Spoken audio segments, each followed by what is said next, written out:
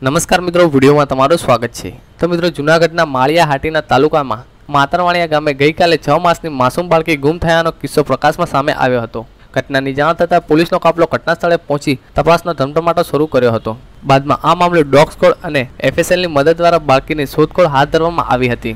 સાંજે બાળકીનો મૃતદેહ નદીમાંથી મળી આવ્યો હતો તેમાં બાળકીના શરીર પર કોઈ પણ પ્રકારની ઈજા થઈ ન હતી જેથી કોઈ હિંસક પશુ બાળકીને કસેડી ગઈ હોય તે પ્રાથમિક દ્રષ્ટિએ જાણતો હતો ઉંડે પૂર્વક તપાસમાં બાલકીની માતાએ જ તેની હત્યા નિપજાવી હોવાનો કસવર થયો હતો ગરંગકાસના કારણે માતાએ તેની લાડકી દીકરીને મોતે કાટ ઉતારી હતી મહત્વનું છે કે બાલકી ત્રીસાના પિતા હિરેન પરમાત તેની પત્ની અને તેના માતા-પિતા સાથે માતરવાળીયા ગામના વાડી વિસ્તારમાં રહેતા હતા બાલકીના પિતા રૂમ બહાર આંખના રોગના કારણે તે અલગ સુતા હતા જ્યારે હિરેન પરમાતની માતા-પિતા પણ અલગ રૂમમાં હતા ત્રીસા અને તેની માતા એકલા રૂમમાં સુતા હતા અને તેણે મોત નિપજાવે નદીમાં ફેંકી દીધી હતી તો મિત્રો તમારે આ ઘટના વિશે જો કંઈ કહેવું હોય તો નીચે કમેન્ટ બોક્સમાં જણાવી શકો છો અને જો વિડીયો પસંદ આવ્યો હોય તો વિડીયો વિડીયોને લાઇક કરી દેજો તો બસ મિત્રો અમારા વિડીયો માટે બસ આટલું જ